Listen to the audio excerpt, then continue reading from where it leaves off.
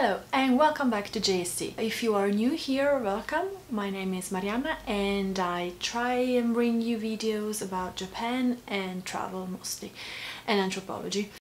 Today I would love to talk to you about religion in Japan again and in particular a notion which is called kegare which is possibly one of the most complex topic in all the Japanese culture.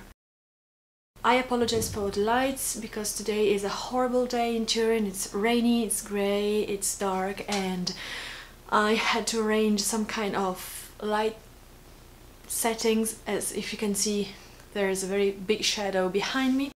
Kegare is a notion that is often translated in English but also in Italian and in other uh, European languages as impurity, so something that it's not clean, not pure and that uh, therefore is, is a source of pollution. And in anthropological studies and in uh, cultural anthropology, notions such as purity, uh, impurity, pollutions are very important elements with social implications that, that of course go beyond the simple idea of uh, dirty and clean or uh, any concern about let's say health or hygiene. They imply a complex relationship between different actors within a given society. So impurity is variously interpreted as dangerous, as a sign of divine rage, as a break into the social order, and as a violation of corporal boundaries, as the proof of uncertainty and a threat against uh, the community. So Japan is no exception and the notion of kegare is a very complex one and implies lots of different connection with the other notion of purity, impurity, borders, society, structures and so on. Kegare is clearly one of the most important elements in the Japanese uh, ideological and ritual universe because the elimination of impurity, so the protection of a state of purity is the central element of majority of Shinto rituals, so of lots of religious rituals in Japan. Often the world is connected to other words such as kitanashi, oe, aka, nigosu, kurashi. Uh, these are all words that in Japanese represent dirty, uh, impure, sometimes even evil um, characteristics. Studies about kegare are wide, difficult, uh, complex and it seems that no one achieved a, a actual certainty about the meaning of the word and how to properly employ it or translate it in other languages.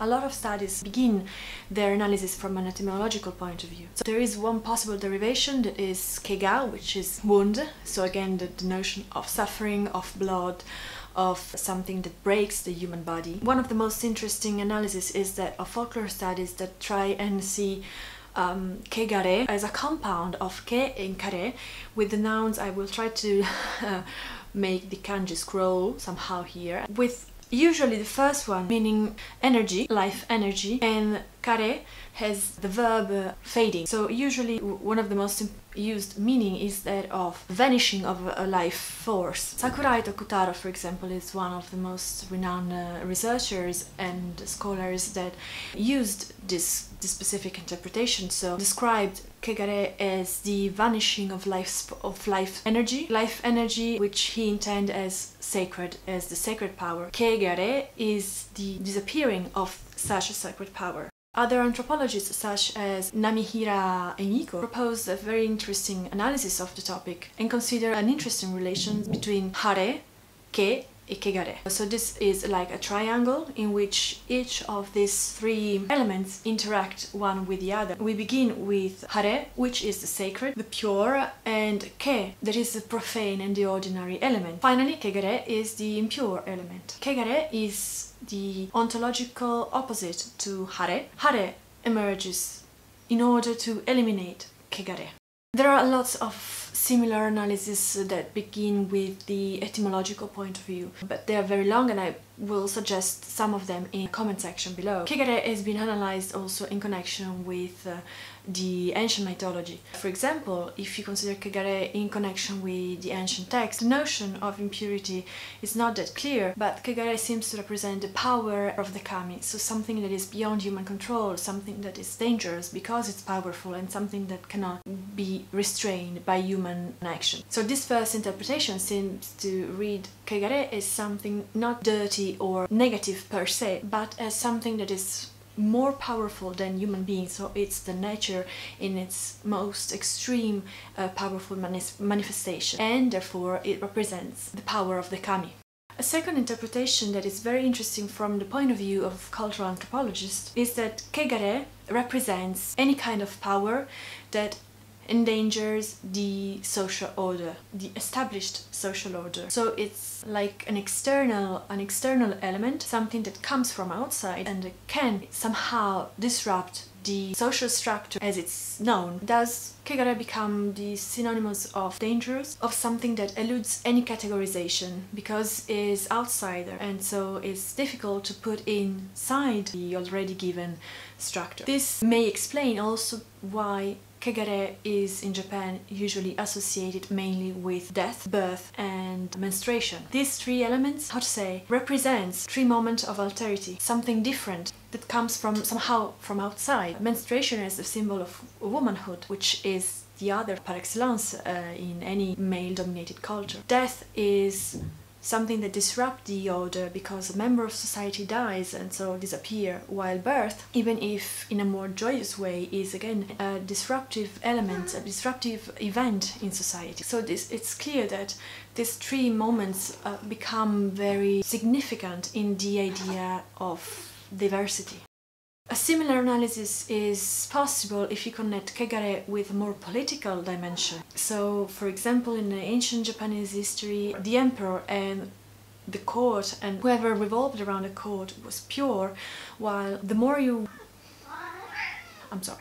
The more you move from the center, the more dirty and impure the world gets. This is a clear political sign, because the more you move toward the outside, the less the imperial court had power on those people. So they were, again, hey, they were outside the imperial control. They were a power from beyond, a power from a different world somehow. They were dangerous. They threatened to disrupt the inner order. Of course, the debate on Kegare is wide and it's extremely interesting from my point of view, but it's clearly not very easy mainly because it implies a different a different interpretation of some elements such as death and life and birth. And so sometimes it's hard to clearly translate that element. Yeah. Yeah you like it? It's very hard to translate those elements that belongs to a different culture within our mindset a final thought that for me was always very interesting is the idea that Kegare is the perfect representation of any transitional state. So for example, the dead body, the corpse, is it's Kegare because it still represents a human being. So it seems alive, but it's not. And it's transitioning towards the skeleton. Transition between the living body and the skeleton is impure because it's confusing. It's difficult to put that thing in one category or the other. So I would say that uh, probably one of the most interesting way to express Kegare is the idea that it represents everything that it's a disorder. So it's, it's not possible to locate in a specific box. It's a moment of confusion in a very wide sense. And this is very interesting because it also opened the possibility to talk about life, death, and womanhood and gender in very different ways and in very interesting way from an anthropological point of view. So thanks for watching this video. I know it might have been a little complex because it's very difficult to talk about Kegare in a very clear way. Anyhow, there will be some references written in the comment section. so you may be able to read a little bit more if you're interested and to see if you find it funny uh, or at least worth reading. I will also put the reference to an amazing book by Mary Douglas, which is one of the most renowned anthropologists that you have to remember while you talk about purity and danger, because she wrote one of the most amazing books about this.